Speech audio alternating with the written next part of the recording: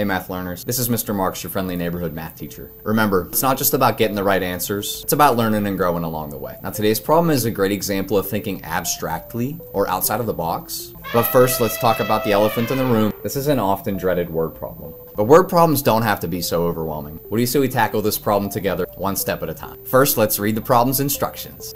Doubling a rectangle's sides.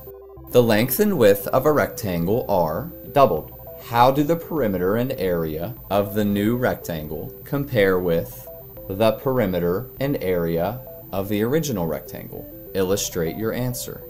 So the term illustrate tells us we're going to be doing a little bit of drawing. But exactly what are we being asked to draw and why? Let's first start breaking down this problem by drawing a plain old rectangle. And let's just give it a plain old length of 2 and a width of 1. Now our instructions say the length and width of a rectangle are doubled. How can we illustrate or draw that? Let's draw a second rectangle with length and width doubled. So this second rectangle will have length double 2, or 4, and the width will be double of 1, or 2. Okay, we have a set of example rectangles here. And now we were tasked with comparing perimeters and areas. Let's take a note of them. Remember, perimeter is the length around the shape, and area is the square units in the interior. Our first rectangle has a perimeter of 2 plus 1 plus 2 plus 1 or 6 units, and an area of length 2 multiplied by width 1 or 2 square units. Our second rectangle has a perimeter of 4 plus 2 plus 4 plus 2 or 12 units, and an area of length 4 multiplied by width 2 or 8 square units. Alright, take a moment and step back. Do you see the relationship between the perimeters?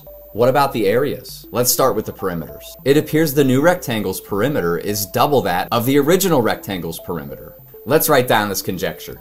And what about the area? Well, it appears that the new rectangle's area is quadruple or four times that of the original rectangle's area. Let's make note of that and complete our conjecture.